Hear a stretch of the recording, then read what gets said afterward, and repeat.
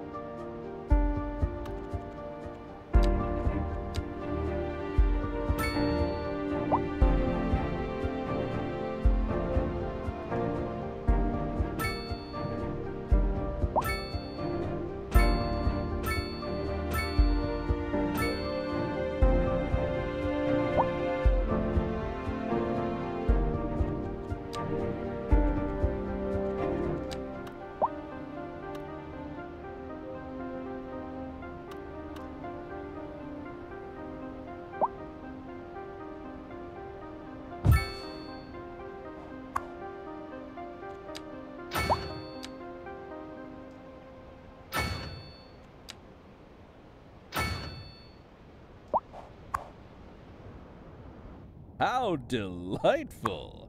Another letter from our erstwhile listeners. Hmm. What's up, honey? Me and my sister love you. Oh, that's nice. Y'all got clarinets and violins, but you got something most music these days ain't. Ah, let me guess. Lineage traced back to the great Haydn himself? Hmm? Let's see here. Y'all got soul. Oh, yes, soul. A raison d'etre? Mmm, delicious.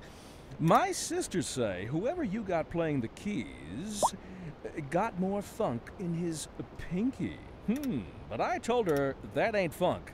That's cla- For our feature story, Local stargazers.